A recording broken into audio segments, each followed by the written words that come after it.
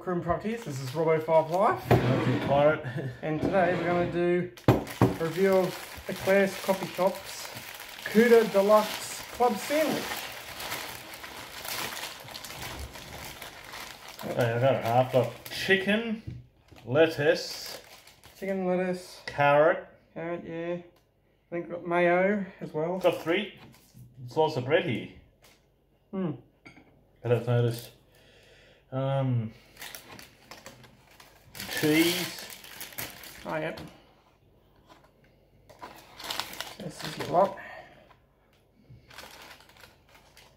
Yeah, I need to take a bite. this is going to be a, only a short review, I think, but oh my god, avo as well. Yeah, Avocado.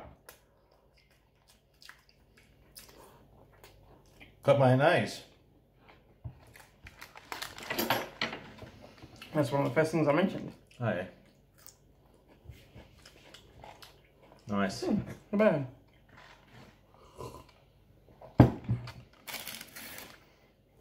This paper's bit. Anyway. So um, how do you? What do you think of it anyway? Nice. nice and full flavour.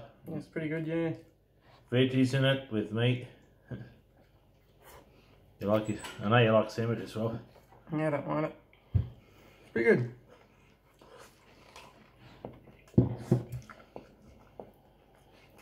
So, what are you, so what are you gonna rate it? Hmm. For local, for that, Yeah. I'd say eight and a half out of ten. Because the flavour, local, not reasonably priced and that. Yep. I rate about eight point five out of ten too. Yeah. Um, yeah, so it's only a, only a quick one today.